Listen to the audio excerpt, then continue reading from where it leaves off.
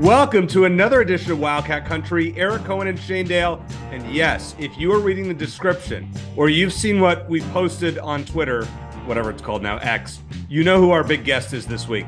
Listen, we're less than two weeks out from the uh, Arizona football season.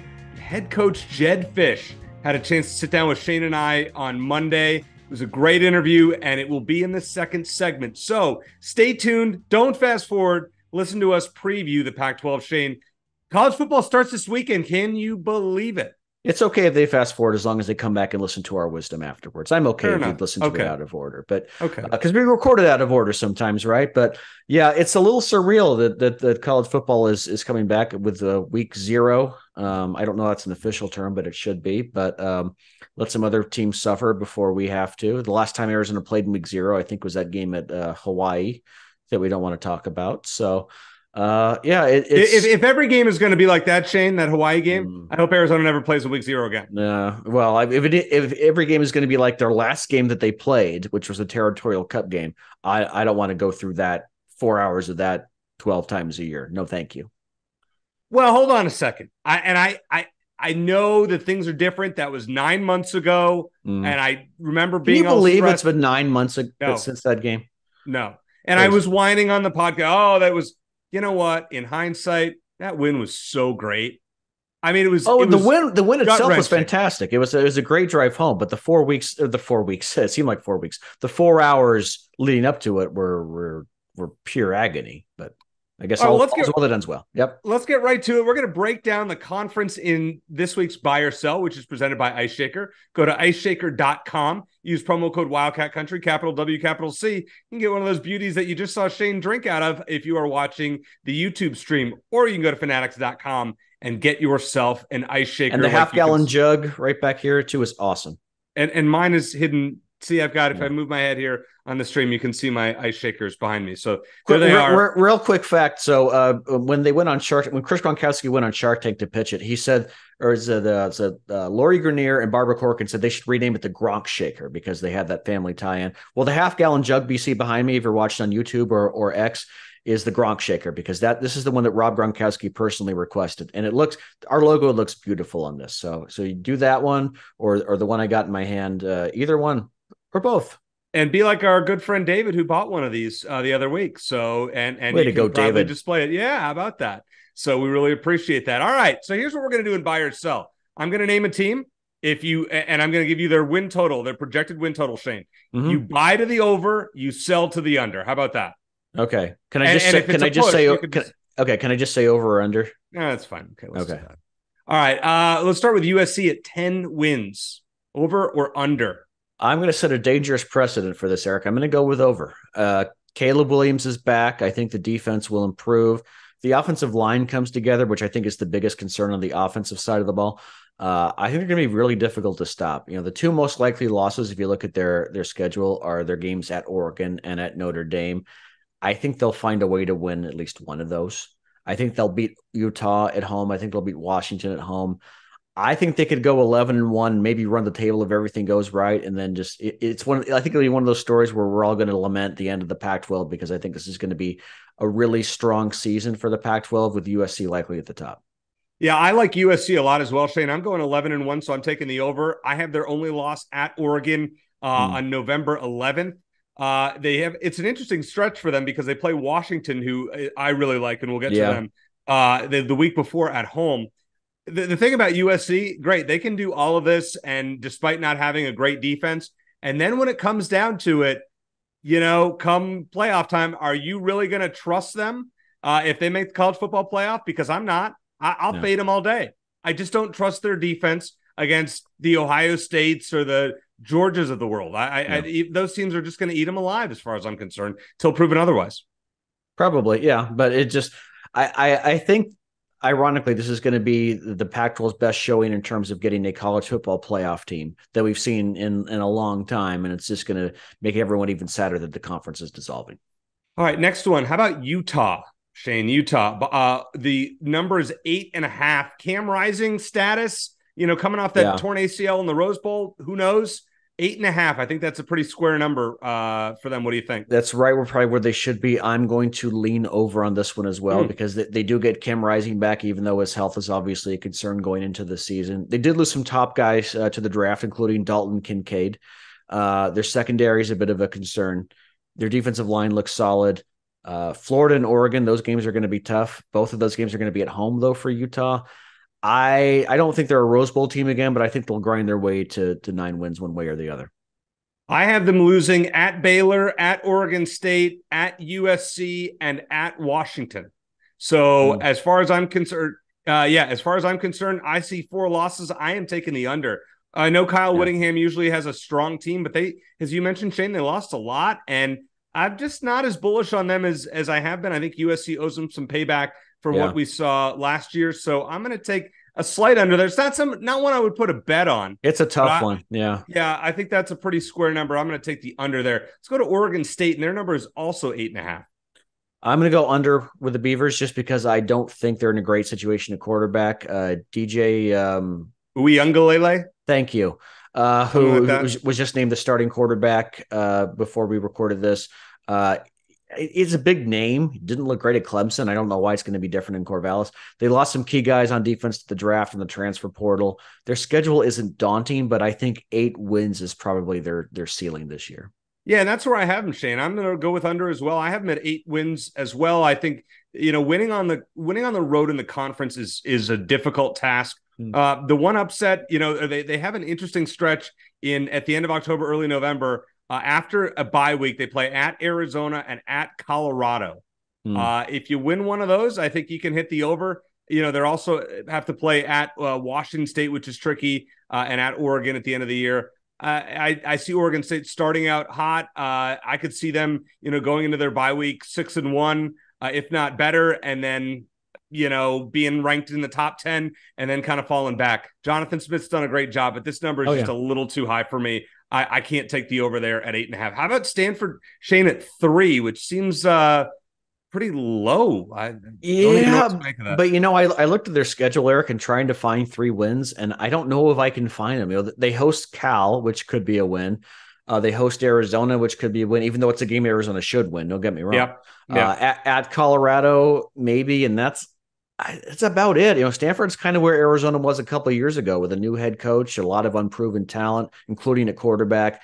Uh, it's it's tough to pick. I, I, understand what you're saying. It's tough to pick a Power Five team to win fewer than three games. Uh, and I probably put it a push if I had to, but if I have to go with one or the other, I'm going to go with the under because I you, I you can take a push. Reason, you yeah. can take a push. Well, yeah. I, I'll I'll be bold because you like, okay. you like bold picks. I do like bold I. I will, yeah. I'll put it this way: I think two is more likely than four, but I think okay. three is right about where they should be. Yeah, yeah I have them at three right now. I, I, have them going one and eight in the conference uh, with their only win, a home win over UCLA uh, in October. Oh, really? I mean, I think I think Arizona goes on the road there and wins that game in September. Mm-hmm and I think Stanford loses uh, their last five games after they beat UCLA. It's going to be a rough year uh, down on the farm, and who knows what conference they're going to be in? Is it the ACC? Is it Independent? Is it probably not the Mountain West? But I think three wins, uh, ouch. Uh, so I will take a push on that one. So here's an interesting one, Shane. Colorado is three and a half. Um, you know, I I I don't like Deion that much, but where do you go with this number? Yeah, it's it's a who knows situation really because I I think the Buffs are going to be better this year, which is a low bar. But their schedule is brutal. They start the season at TCU. They they host Nebraska. They have to go to U, uh, Oregon and Utah. Uh, they have to travel to Washington State in mid-November, which is never a fun trip that time of year. Uh, I I think Deion Sanders will experience a bit of success at Colorado at some point, even though I think we both agree his time there is going to be limited one way or the sure. other but with so many new faces, not to mention the media circus that descended on Boulder and will be there the whole year just because Coach Prime's there. I don't think they're going to put it together right away. So I'm going to take the under, even though I think three and a half again is probably right. It, it, it's like you say, a square number. I think it's right where it should be. Yeah, I'm really uh, not sure what to make of them. I would love to take the under because I will be rooting against Coach Prime and, and Colorado because I don't like his style. But I'm going to go with five wins here. So I'm going to take the over. Feel pretty confident about that. And one of those wins I am predicting in November is a home win over Arizona, which I actually mm. have uh, as their last win of the year. I have them beating Oregon State and Arizona in back to back weeks at home uh, before they have to go on the road. I, I just think that's a tough spot as this team gets better as the year goes along. You know, but I think the key for hitting this number will be in week two against Nebraska at home. Uh, Matt yeah. Rhule against Coach Prime. What a what a fascinating mm. uh, coaching matchup. But I'm going to roll with the over there. I feel pretty confident about that one. Uh, I think he the talent is there for what he's brought in. Once they all mesh later in the year, uh, I don't like the timing of when Arizona plays them. I'll put it that way. All right, how about or how about Oregon Shane at nine and a half? Yeah, I already picked USC and Utah to hit the over. So can I? I pick Oregon to do the same. You know, I don't know. They, they don't have a tough non-conference schedule, but can they win? Say seven of nine in conference. You know, they they play both Utah and Washington on the road. They host USC. Uh, they'd have to win at least one of those games, then run the table in the other games to get to the over. You know, even with Bo Nix back, and I know they added some talented guys on uh, some transfers on defense. I don't see it. I think they're more likely an eight or nine win team than a, a ten or eleven win team. I'm going with uh, with nine and three for Oregon here, and I'll tell you. So it's the under, but I'm going to tell you the, the key game for them, and that's in Week Two against Texas Tech. I'm actually really bullish on Texas Tech this season. Hmm. Uh, they have an interesting team. Joey McGuire's doing a good team, doing a good job for them. We'll we'll see them probably in the coming years. Uh, hmm. They might be in Arizona's pod for all that we know. Yeah. Um, but I think that this is a team that in week two, Oregon better watch out on the road. Uh, that's going to be a tricky game. With that said, you know I have them losing at Washington and at Utah in the conference, but seven and two should be right up there uh, for uh, in for contention for the Pac 12 championship game, but I'm going to play the under nine and a half for them. All right. How about Washington? Same number, nine and a half, Shane. Yeah, I really like Washington this year. Uh, Michael Penix is, in my opinion, right behind Caleb Williams and just right behind him as the best quarterback in the conference. Uh, and both of his top receivers are back. They both gained over a thousand yards last year. They have one of the best pass rushers in the country. They added a lot of talent in the secondary via the transfer portal. Most of their tougher games are at home, even though they do have to travel to Michigan State in a few weeks, which should be interesting. Mm. Interesting early test. They didn't have yeah. a problem with them in Seattle last year, but uh, we'll see what happens uh, when they have to go on the road. But I think I think USC and Washington are going to meet in the Pac-12 championship game with a possible trip to the possible trip to the college football playoff on the line. Um, so yeah. I'm going to take the over for the uh, for the Huskies. I think they win at least ten games. Well, it was announced today, Shane, that Cameron Davis, uh, their running back who scored 13 touchdowns last season, out, out, for the season. Yeah, the lower body injury. But I also have him at 10 and two, uh, seven and two in conference. Uh, I am, you know, big on them as well. You and I in full agreement. And I think you're looking at a team that very well could be ranked in the top five going into November. A tough uh, late season schedule uh, there. Who knows what to make of of everything when it comes to uh, Washington and, and whatnot. They have to go at USC, uh, home Utah, at Oregon State, and then Washington State at home. I mean, that is tricky hmm. uh, right there. But I think they go 10 and 2. I really am big on Michael Penix. And I think he's going to be invited to New York uh, as a Heisman Trophy finalist. So uh, I, I, don't know. You know, maybe we'll make some picks next week on that. But I think Penix has a pretty good shot. It's going to put up a huge numbers. I think I think another a 40 touchdown or plus season is likely for him. How about Cal at five wins? Uh, Cal should win two non-conference games. Look at their schedule, but can they win four Pac-12 games to to hit the over? Outside of hosting ASU and their game at Stanford, they're probably going to be underdogs in every conference game. You know, they have a new offensive coordinator, a new inexperienced quarterback. They do have some talent returning on defense. If Brett Johnson can actually play, because I don't think he's played in two years, he'll be a big help on the defensive line but I have a hard time seeing them piece five wins together in a really tough conference this year. So at, at best, I take a push at five wins, but I'd have to say uh, the under if I had to choose. And that's where I have it, Shane, is a push uh, five and seven with three and six in conference. I think the schedule, as you said, just not very generous to them. You know, uh, late late season games at USC, at Oregon in consecutive weeks. I mean, they play. Excuse me, they play uh, USC at home, then at Oregon, uh, Washington State at home at, at, Stanford. They should win that, and then at UCLA to close out uh, likely their Pac-12 uh, career. Uh, yeah. So should be an interesting game. Uh, with that said, I I'm not bullish on Cal. I don't see them making a bowl game. That I have them ninth in the conference, uh, tied with Colorado. So not not optimistic on their chances. I think, but I think that number at five is a square number, and I wouldn't touch it with a ten foot pole. But Washington State with six and a half is there uh, some value there, Shane, one way or the other? What do you think? Yeah, Washington State reaching the over, in my opinion, will largely come down to their home game against Wisconsin. If they can find a way to win that game, it'll be hard to pick against them to do that, right? You know, they they get Cam Ward back. They got some questions in the running game and on the offensive line. Uh, they also lost two of their best pass rushers. I'm still leaning toward the over because they they do avoid both Utah and USC in conference play. Um, and I think they have enough returners, including Cam Ward. But again, it'll likely come down to whether they can go undefeated in the non-conference schedule. Yeah, I don't I don't see them beating Wisconsin. I think there's some a payback angle for last season. I'm going six and six for them. A tough schedule, as you said, you know, yeah. down the stretch at Washington to close. But I think that at Cal game uh, is a tricky one in week 11. That's one I would keep an eye on. If they win that, I think they can hit the over. If they don't, I'm I will have them at the under. So right now I'm going with them at six and six. All right. The next team, Shane, as we narrow it down here, uh, our 10th team in the Pac 12 that will go through UCLA at eight and a half. And to me, this number looks way, way too high.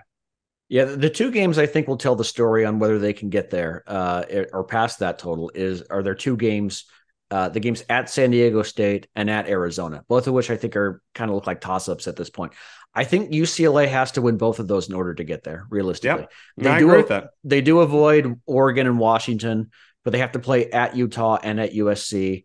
And I think they're going to lose both of those games. They lost their starting quarterback, their star running back. The offensive line is a question mark. They have a new defensive coordinator. I think UCLA just has a few too many question marks to get to nine wins. So I'm going to take the under. I'm going with six, Shane. I, I don't see this. Maybe I'm underselling Chip Kelly, but I don't see UCLA having a good year at all. I have them losing most of their road games, uh, including at Arizona. Uh, you know, at Utah, as you mentioned, at San Diego State, Oregon State's one. Uh, the, one that I could probably go either way on, I probably shouldn't have picked it, is at Stanford. But I think you know Stanford's got to win some game in the Pac-12. You would think, and I just I'm not I'm not that big on UCLA this year. Six and six, maybe a minor bowl game for them before they head to the Big Ten. And good luck with that. All right, Shane. Uh, ASU is uh, and Arizona are both uh, projected at five wins. Um, let's start with ASU. What do you got? Well, I I'm a little surprised the number is that high for ASU, and and I I try like I I pride myself on being an anti-homer and like not like you know t- treading the, the Sun Devils just because I can. But you know, look, if the talent they added all comes together quickly, they can surpass five wins. They added 33 players from the transfer portal alone, uh, and then they just announced uh, Jaden Rashada as their start, their mm-hmm. freshman as their starting quarterback, which was a bit of, of a surprise considering they brought uh, Drew Pyne in from uh, from Notre Dame. And then Trenton Bourguet looked pretty good last year. I mean, he was yeah. the quarterback on the field in the Territorial Cup game. You're right. Yeah. Uh, so we'll see. You know, they, they have a pretty good receiving core that they do have to uh, replace uh, at uh, at tailback. They practically have a brand new defense, which may or may not be a bad thing. So, like Colorado, it's really hard to gauge them. Uh, I'm just going to err on the side of needing a little more time to gel with a whole, brand new team, brand new coaching staff. They do not have an easy non-conference schedule. They they they get both Oklahoma State and Fresno State. That both games at home, but both tough opponents. Fresno State won what their last seven or eight games last year. Oklahoma State's always tough. Uh, if they finish non-conference one and two, which is is certainly possible, it's hard to see them winning the majority of their Pac-12 games. On top of that, so I'm going to go with the with the under. Yeah, I'm going with the under there. I have them beating Fresno State, losing to Oklahoma State, but I have them at four and eight because I think their last four games uh, at Utah, at UCLA, home Oregon, home Arizona. I am mm. going 0 4 in those games, and maybe that's overly optimistic. Okay, and, we just you know, got a territorial cup pick from Eric. I just gave you a t- well. We're going to talk about you Arizona made a gear now. Okay, no, I'm just going to say because you made a guarantee last year, and you ca- and, and, and you and you got it right barely, but you did. I did. We'll I'm not making a guarantee this year. Okay, all right. Uh, but uh, and I'll explain why not. But right. I, I'm going to uh, take the under for ASU at five wins. Now for Arizona, Shane, I'll start with me on this one, and then I'll let you uh, take us home for this segment. Sure. I have Arizona at six and six. Um, originally, when we did we went through the schedule, I had five and seven. Here's where I have the wins. I have NAU. I think Mississippi State they show respectably, but I don't think they win that game. I think they win at UTEP and they win at Stanford. I don't know what to expect with the Washington game there uh, at home. I think there is upset potential there, but I'm not picking it. I think uh, they're going to lose at USC. They never went out there, and they never win in Pullman, so I think they lose at Washington State. So at that point, going into their bye week, they are three and four. They come home to face Oregon State. I think they can pull the upset there. I think they can beat UCLA and and get their fifth win. I don't like their chances at Colorado, and I really wanted to pick them against Utah. I did not in this case but did pick them to, to win the Territorial Cup again, a six and six season. There's a lot of games that you can make an argument for. Like I could probably go eight wins if all went right, and probably sure. like four if all if things went wrong. So somewhere between four and eight. So I'll, I'll land on six. What do you think? Yeah, I've I've said a bunch of times, and people who have listened listen every week. Uh, first of all, thank you, but second of all, you're probably just getting tired of hearing it. I think Arizona will be better this season compared to last year. They're a more talented team, but their combined their schedule combined with the fact that I think the Pac-12 has collectively improved from last year makes me think that it might be another year before they get to a bowl game. Uh, they they look like they're in great shape on offense with a lot of returners. Although Jayden de Laura did have a rough finish to last season, and that's still that's just keeps sticking in the back of my head. Uh, defense looks a lot different, which like ASU might not be a bad thing. There's a lot of youth and, and experience on that on that side of the ball, though. And you combine that with games at USC, at Mississippi State, at Washington State, and even the Territorial Cup game in Tempe, where Arizona hasn't won since 2011. I think getting to six wins is going to be tough. If I have to take the over or under, I'd go. I, would go with the over. I'd, I'd be optimistic and say six, like you do. But my guess is that again, Vegas is spot on by having them at five wins again this season. Let's find out what the head coach feels about everything. You listen to Shane and I break down the conference. What does Jedd Fisch think about his team's chances this year? You'll find out next here on Wildcat Country.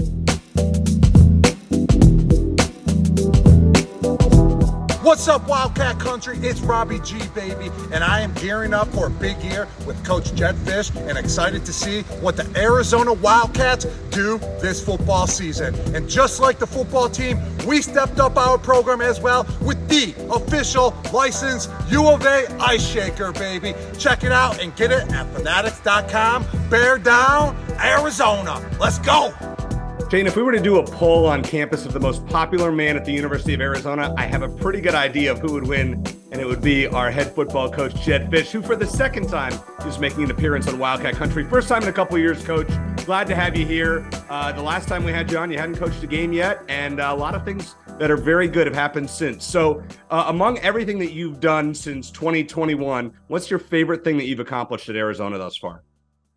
Oh, I'd have to say I bring the Territorial Cup back home. Uh, that's been we've had a lot of great wins in regards to recruiting, regards to going on the road. Opening day last year was a great win for the program. Having our first win um, after a long, long losing streak was a big win. Going to the Rose Bowl and winning, but the win um, keeping players in the state of Arizona has been some wins. But uh, I would say the win to get the Territorial Cup back in Tucson's got to be the, the most fun we've had and the biggest win for the program so far. Yeah, I was actually going to ask you about that, Jedd, because you know, I, and from we've talked about this in terms of impressive wins last year. The win at UCLA is probably number one, but just in terms of fan engagement or even re-engagement, I got to think uh, finishing the season with a win over ASU for the first time in six years is, is at the top. Have you gotten a sense that that win has really helped to ignite or even reignite the Arizona fan base in Tucson? Yeah, I think we're getting there um, for sure. I know that you know we have the most amount of season tickets that we've sold since 2014. I know that we're um, high on the most amount of Zona Zoo passes we've sold in the last 10 years.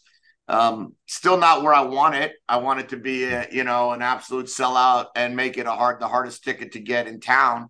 Uh, we still need to continue to build off of that. I think if we start getting to bowl games and start figuring out ways to compete for championships, uh, that will come as well.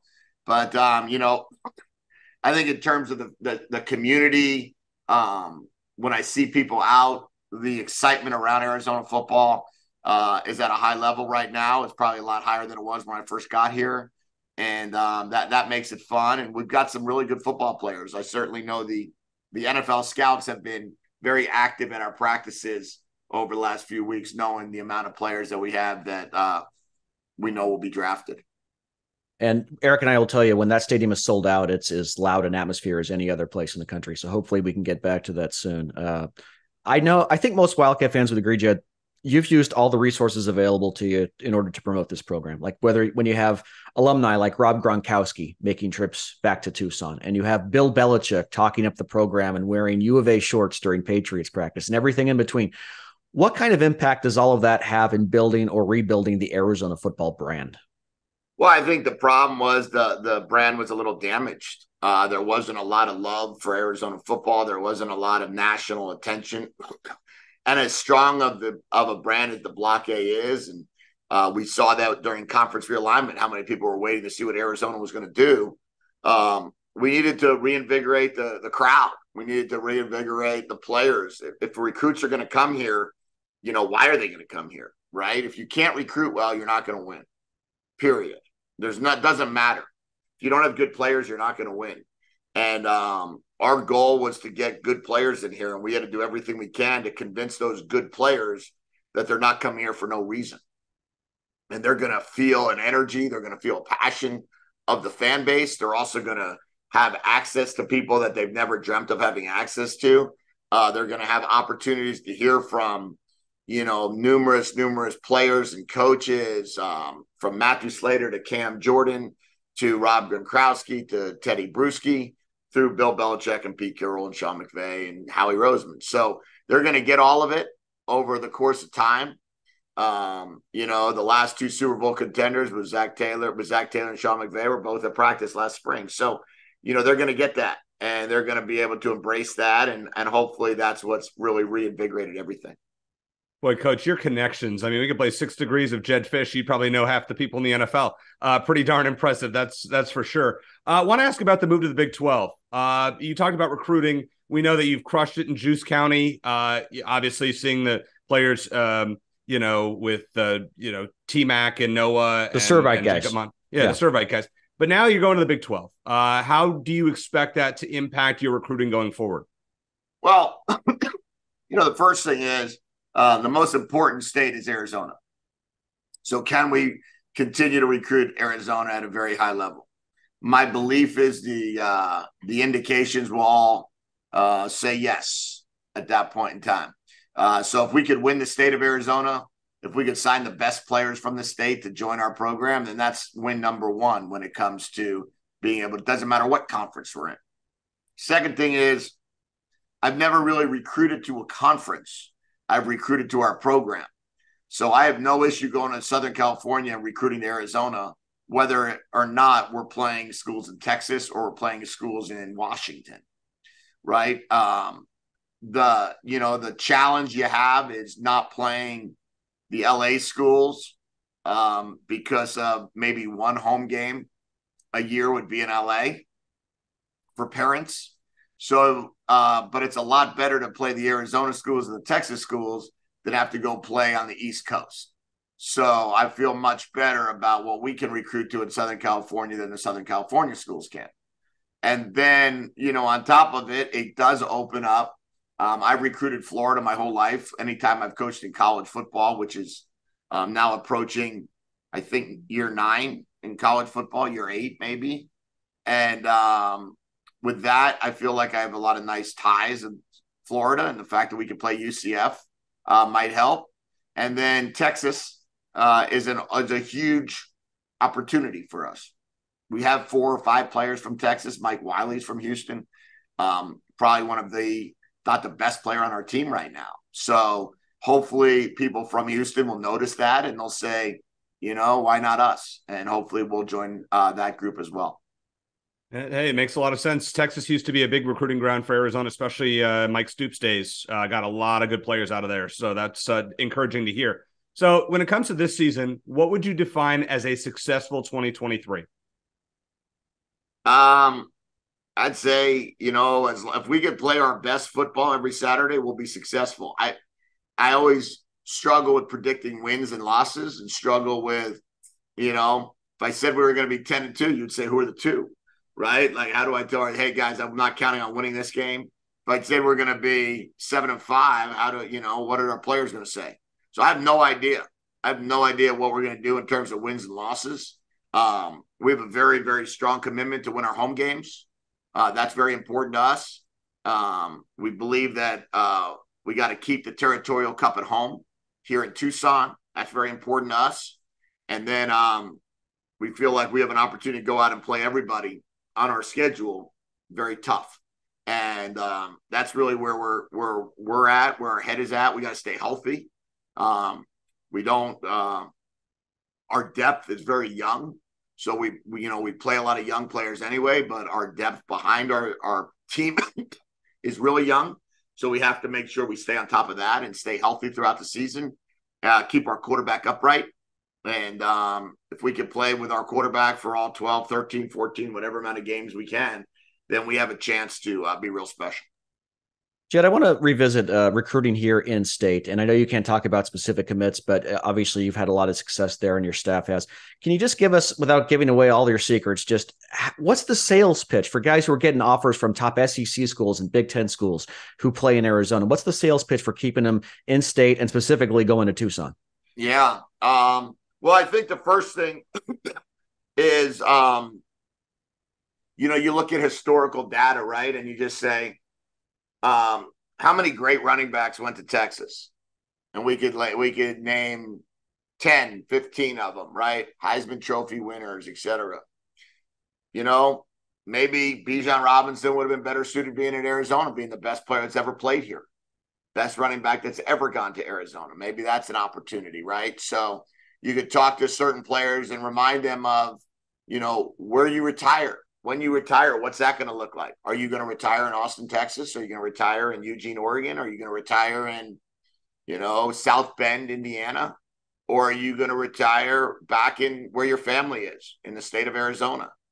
If so, why would you not want to be the guy that brought Arizona back to prominence rather than the guy that continued to keep Notre Dame good or continued to keep Texas good? Like, I don't know why that's exciting you know, as a player. Uh, in my mind, that that's not very exciting. Um, if I'm a recruit, I want to go to a place where when my career is over and I want to be in the state, um, that I know that I'm going to be the guy in the state that it, when I walk into the grocery store, they're going to say to me, "Hey, weren't you the player that got a Rose Bowl for Arizona, or you weren't you the player that brought Arizona to the playoffs?" And if the answer is yes, you're going to have a lot more juice than if someone walks up to you and says, "Hey, weren't you the guy that went ten and three up in uh, you know, Michigan or eleven and one in Michigan or, you know, yeah, sure, you, me and the other twenty five great players that went there." So that's kind of what we tell them.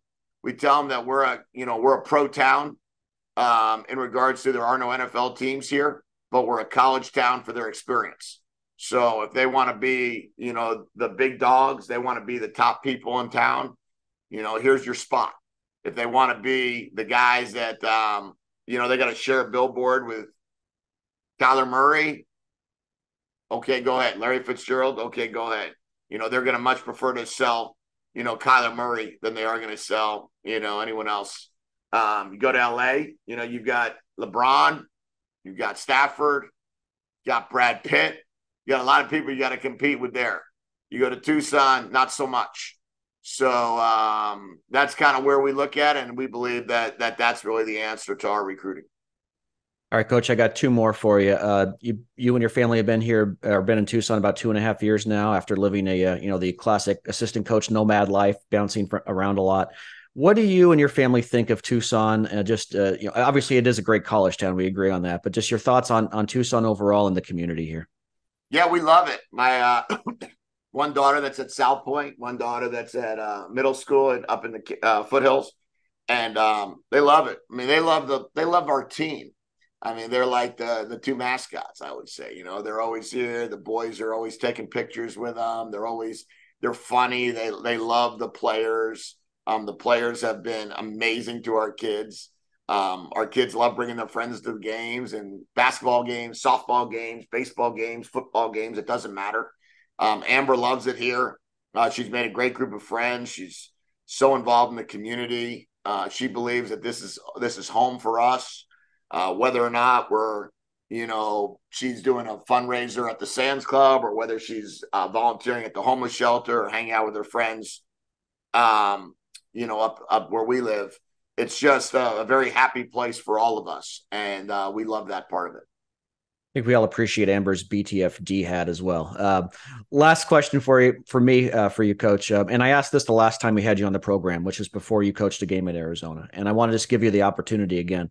Uh, for fans like us in the Phoenix area, just give us your best pitch why they should take the trip to I 10, be in the stands for Arizona football this season, starting with NAU on September 2nd. Sure. Well, I always start with why not, right? I always start there. I'm like, if you are a fan of University of Arizona football, you've got six games, six home games that you could be at, and they play on. We play on Saturday, so there's not many conflicts, uh, and we usually play at night, so there's really not many conflicts. So the opportunity to experience college football games at the highest level the best games any of us have ever been to are the ones that have the most people. So it's kind of like the chicken or the egg deal, right? I want to have a great experience. Okay, well, how do you have a great experience? Well, I want to be at a place where it's sold out. Okay, well, how do I do that? Well, if Arizona's not going to sell it, I'm not going to go. Or you say, if I go, we will sell out, and if we if we sell out, the experience will be amazing. If the experience is amazing, I'm going to come back again. And so I think we're at that point right now. It's time to it is time to fill the seats. Um, it is time to lay it all out there for these next six games. This is our moment. Uh, we told our team this is our moment. Jordan Morgan, Jacob Cowing, Mike Wiley, Jayden de Laura, Justin Flowe, um, Tanner McLachlan. You know, you've got Co and Manoa and so many good football players that are now on this football team that um, how would you not want to come watch them? That's a great point, Coach. I'll tell you this: I've been an 18-year season ticket holder. Uh, drive two hours each way to the games. For the first time, I upgraded my tickets. Uh, maybe it's because I'm getting old and need a seat back. But uh, I'll tell you what: I believe in the program, what you've done, and it's been awesome. But from a, from a uh, fan's perspective, we know that you know the we have the sellout and the the Desert Fury 50k thing. What else would you like to see from our fans from a culture perspective, so to speak? Well, I would just say, you know, I think the most important thing we could do is support the kids. You know, so uh, how do you support them, right? Is it is it ripping them or is it believing in them? Is it talking about the positives that will go on or is it trying to find something negative? Um, and I, you know, we talk about that with our team. Uh, if you, our team does everything we can um, to promote positive, to to give back. Uh, we're very strict on what we put out on social media as a program because uh, each player has to recognize that it starts with Arizona football player and then it ends with their name. So uh, I want our fans to support that as well and to come out and and you know go root on our kids and go be loud and proud and have energy and excitement and recognize that trust me when I tell you they are working their tails off every single day at practice and meetings and more practice and more meetings. Might as well go enjoy it. I love it, Coach. We we really appreciate that. All right, last question for you. We saw a video the other week of you with uh, serving tennis balls to uh, Jayden de Laura and Noah Fifita. There's no way that they actually would have returned to serve if you had been trying, right? Oh, we just decided. I mean, we we. I, I think I made the deal, you know, pretty pretty tough on my end. My end was if they touched the ball with their racket and went over the net, they they win. So every serve had to have a little bit of a, a spin or an angle to it. So it became a little bit tricky. But uh, yeah, they each got one um, there at the end, and we were able, to, and they did a good job there. And uh, I think Noah might have gotten one over at practice. So we'll see what it looks like. But it was fun. It was a great, it was a great time, and watching their spirit. Um, that's why you coach college football, watching the joy that, on their faces and how funny they are, and uh, those two those two guys in particular are uh, are a treat. They're awesome. Coach, really appreciate your enthusiasm for the program and what you've done. Uh, many uh, your continued success this season, and hopefully we get a chance to talk to you again down the road. Awesome. Thanks, guys.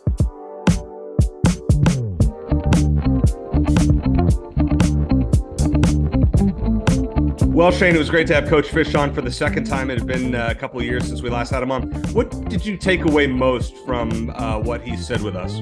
Well, and, and let's just, just, to back up for a second. You know, we asked him some more, some broader questions about the about the program and the and the in the direction it's going. You know, if he's at practice, he's answering the same questions about positions and everything. So we wanted to ask some different overall questions. So if you're wondering about that, that's why we we, we uh, went down that route. Uh, big takeaway is I remember I was thinking back to our first conversation with him we had uh, two years ago before he coached a game at Arizona, and he his message about coming out, fans coming out to support the team was the same. He said, um, "I'm trying to remember exactly what he said." He said, "Well, fans might say, okay, if we win, we'll, we'll show up. How about if you show up, we'll win." You know, he talked about that, the chicken and the egg thing, and and I agree. You know, it, it, it you're more likely to win if you have more fans uh, cheering and, and it's an intimidating environment Arizona football fans just aren't like that. They're they're and I think Jedd realizes that and he's doing everything he can to get fans to show up, but the number one thing he can do is win. And and he's getting there and that's why I think like we talked about with Jedd as well, that win over ASU was just the was the biggest win of the season in terms of fan support. And if you do see a rise in in attendance this season, which it sounds like you will, like Jedd said, the their season ticket sales are up. Uh, I think that win is going to have a lot to do with it. Yeah, and you know what I appreciated most about what Coach said was the importance of beating ASU. He mm-hmm. gets mm-hmm. it. Oh, yeah. And I, I, don't think we've had a coach that really has understood that change since well, Dick Tomey. Well, you remember his tweet uh, from the the, yeah. the Pac-12 tournament, yeah. back to normal, perfect double entendre. He gets it. Yep. I mean, Rich uh, uh, Sumlin didn't care. Rich Rod didn't really get it. He was never really. He grasped it toward later in his time. He started. He eventually started talking about calling him the school up north and all that. But I think it took him a little. It took him a couple losses to finally embrace the importance of that game. And, and Mike Stoops. I mean, he, I know he won his first territorial cup game against ASU in that 2004 upset, but I don't think he ever really I mean, you know, you don't kick extra points against ASU. You go for two and you go for the win. And Stoops played too conservatively, and we're talking about 2010. Yeah. But that's all I have to say about that. But I think Jedd has realized the best way to ingratiate himself for the fans. I mean, obviously winning is number one, but one A is is is talk smack about ASU and do it in a way where you know it's not like you're going to make headlines, but you're you're kind of you ingratiate yourself to fans and you let them know, okay, I get it. I know how important it is to to win this cup and to keep it. You know, and we talked last week. One of the buy or sell questions was about a sellout. When will Arizona have a sellout? And mm. I hmm. said I would kind of tease that and give the answer on this week's show. So I think Arizona will sell out the September 30th game against Washington. At this point, if the Wildcats are three and one or four and zero oh with an upset at Mississippi State and a win at Stanford, people are going to show up. And I still think even three and one, uh, if Arizona could win that game, they would be ranked. I, I, think four and one heading into USC. I think Arizona would be a ranked team at that point. Can you picture a world where Arizona's three and zero, oh, Washington's undefeated, and and College Game Day comes to Tucson again? Uh, you know what? If so, let's go. Let's we'll, yeah. we'll be there. Although I, I have feelings about that because Arizona's I think zero and two when game day comes to Tucson. They are, but, but yeah, still. I mean that that's but still all right so for the next 13 weeks shane and i are going to make picks in this segment we're going to try to have a special guest on every week with us to make picks uh, there are some week zero games. We are not going to pick them. I'm sorry, but uh, San Jose State plus 31. Well, I like the pick. We're not making it official uh, on this program at USC. Uh, so, Shane, just if you were to give a lean on San Jose State getting 31 against USC, this does not count for the season. Good, good. I'd take you... USC all day. I think. Oh no, I think I think this is backdoor cover. You and think so? so? Oh yeah, I think San, uh, Caleb Williams comes out at the end of the third quarter, yeah. and San Jose State gets a couple of touchdowns in the fourth quarter, and backdoors at plus 31 for us. Okay. So that's your that's your one pick. Also, another interesting game. Uh, circle this one on the on the calendar. Jacksonville State, which Rich is Rod. Rich Rod, is playing their first uh, uh, game in Conference USA, which is their in in FBS. They're transitioning, and they host UTEP, who Arizona plays in three mm, weeks. Interesting. So, and it's it's basically a pick'em game. So if you're gonna just watch a game that's a little bit under the radar, that's one I would recommend keeping an eye on. I like it. The little but scouting. I, so we're not going to make picks this week, but I have three things I want to run by you, Shane. Yeah. So Brett McMurphy from uh, Action Network tweeted this uh, on Monday that Memphis has a ticket promotion where fans can buy a $60 ticket for their opener against Bethune Cookman. If they win, fans get a free ticket to the next home game, and this continues for each home game until Memphis loses at home. This is basketball we're talking about. This is this is football. This is football. They play Bethune Cookman in football. They play Bethune Cookman in football. That's okay. the SWAC, and then they okay. get Navy, Boise State, Tulane, USF, and SMU. Okay. If Arizona, would you would you ever, if you were in the uh, marketing department at Arizona, would you ever run a promotion like this? Uh, probably not. I, I would make it a much more limited of anything. First of all, that you run obvious risk of just becoming a laughing stock if, if you do something like that. Uh, everyone pointing fingers. They're not losing the, the Bethune Cookman, and Arizona's not losing to NAU. Well, I, no, no, no, no. I'm just saying that having to do that promotion to get fans to show up, especially when you're starting when you're on an upward tra- uh, trajectory, you're starting to win games. I, I think I could see something like where if Arizona they did the promotion where look if you buy a ticket to see NAU and they win, which they will, you you get a free ticket to the next game to the to the uh, the UTEP game. But that's it. I wouldn't go beyond that because it, things can get tricky and like and if you're a season ticket holder like, like you are, Eric, it's like okay, where, where's my free ticket? But right? here's what you do, Shane. in my opinion. I think this is a brilliant promotion, and I would run this if I was Arizona because you have that whole third deck on, I believe it's the east side of the stadium, where I mean it's it's generally hot up there. It's really high up. I mean that is nosebleed section. I I don't believe I have ever sat up in that particular area for a game of all the games I've been to at Arizona Stadium. Mm. That's you do it for those those seats up there. I think it's a great idea. I, you, th- I think, you think fans are going to take those seats? Oh, I think, I think they're going to come that, back for yep. a game for okay. I what I would say is, uh, you know, if you block off a specific section or whatnot and said, all right, you can buy this first ticket for sixty bucks, and if you win, if you get it right, or if Arizona wins, you get the next one for free. And then if they win, and I would do it just in those sections. It's really easy, assuming that nobody has bought in those particular sections for the year. Who knows if that's the case? I love this promotion, and I think Arizona should consider it. No, I, I, I think they get. I, I think they just get laughed at for it, and I don't think the attendance would would improve that much. So I, I don't know. I, I understand the logic behind it, but I feel like if you have to, and you want a sold out crowd because you want fans who are, want to be there to make a bunch of noise. And I think if you're just there because you got a free ticket and it's kind of a whatever thing, I don't know if it's going to make that much of a difference anyway. So I again, if they want to do it for NAU, one game, you come back and see the next game, that's fine. But I wouldn't go beyond that. And I, and look, Arizona doesn't. If Arizona wins some damn football games, that stadium will sell out. We've seen it, so they don't need to go that route. If Arizona, you know, fin- wins their first three or four games of the season, which isn't likely, but if they did, you're going to see a sellout about halfway through the season. At some point, by the way, they got to do something about that third deck. I'm not going to rail on it; just too high up, as far as I'm concerned. It's Arizona Stadium is not big enough. You know, they should have. Well, they have they to have a place re- to put the, the visiting band. Isn't that where they sit? They, it, it it is these days. Otherwise, they would do it on the far west side, on you yeah. know, by the by the locker room over there.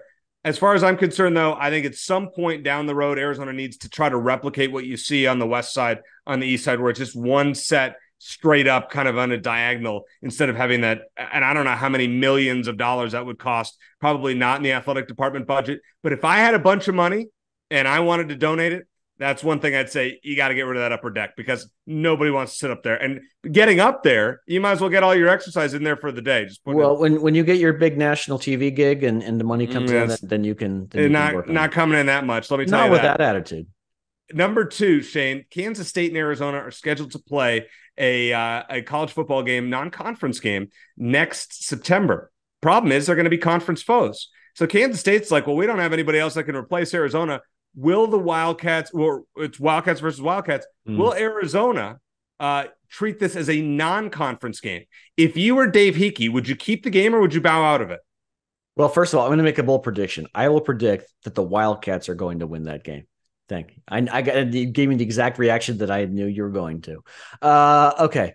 So no, I wouldn't bow out of it. I, I, would first see if there's a way just to make it a conference game. I mean, I know it's early in the season, but sometimes you get that even in the Pac-12. Sometimes teams play week one or week two. Um, is it like it's like USC and Stanford? They've done that in the past, where you get an early conference game, a couple non-conference games. I don't see the, the need to to change it up. Just incorporate Arizona and K State into the uh, into the conference schedules. But I, I would like to keep it. It's a, it's a quality opponent.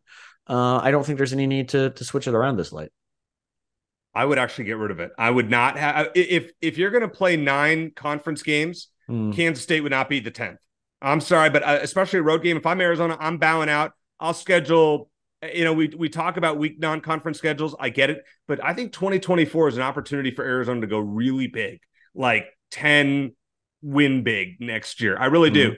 And you know what? If you're going to play a softer schedule, that's fine. You're still going to have a tough, you know, road, and and who knows how it's going to shake out. We know how Arizona in in even years has played uh, more home games in the in the Pac-12 than road games. We don't know if it's going to be the same way in the Big 12.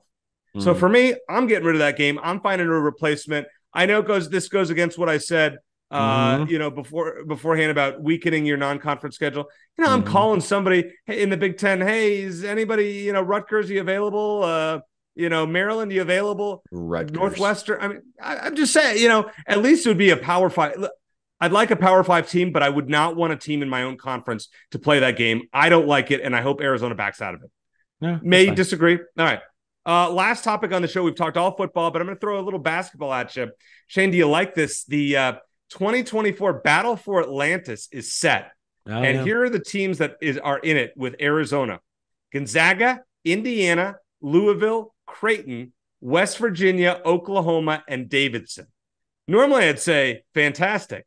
But we all remember the last time Arizona played at the Battle for Atlantis. Mm. It was not good. In fact, it was 0 3. 0 3 DeAndre, with DeAndre Ayton's team before they, they started they started to piece things together. But yeah, that was that was a horrible time. Like that month or two when Arizona was out of the top 25 and ASU was like number three and yeah. just like hell froze over. Unfortunately, yeah. things balanced out and uh, later in, in, the year. But yeah, no, I, I'm not concerned about that. It's that I'm, I'm sure Tommy Lloyd and Mark Few aren't thrilled at the prospect of playing each other.